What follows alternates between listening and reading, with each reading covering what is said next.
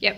Hey guys, Dr. Jesse and Katie from the Chiropractic Health and Wellness Centre, and we want to talk to you today about some things you can do to improve your posture uh, and also alleviate headaches, neck pain, shoulder pain, this sort of thing. If you've got bad posture, so your head's coming forward and, and your shoulders are rounding in, then this is going to be one for you.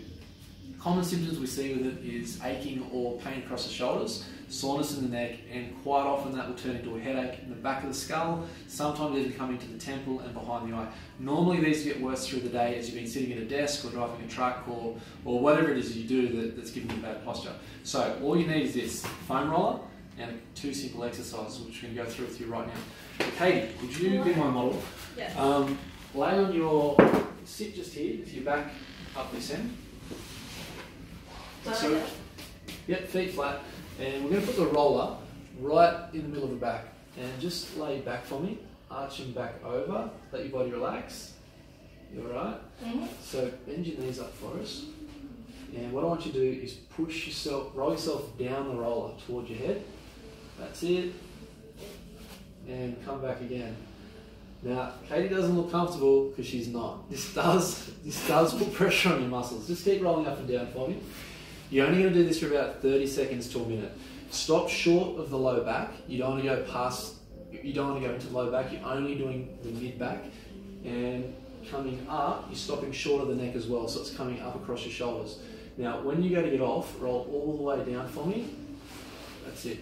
If you with this, if you've been doing that for 30 seconds a minute and you've got a bit of a weakness, if you try and sit straight up, you're going to kink your neck. So make sure you roll off gently like that or even roll off to your side. Um, now the next one, now that's good for breaking down adhesions in your muscles and stretching your shoulders back uh, as well as bringing the neck back. The next one, if you just lay flat on your back on this, but I need your head hanging over this end.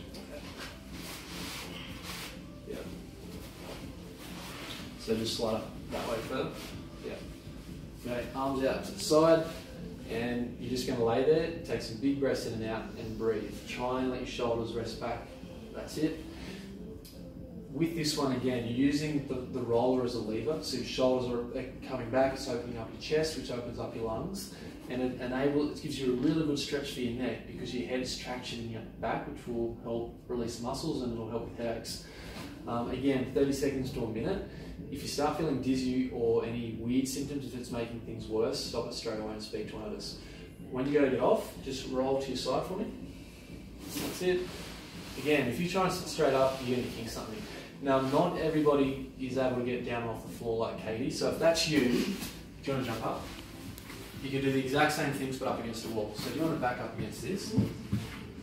And bring your feet out a little bit, so a foot and you bend your knees to roll up and down.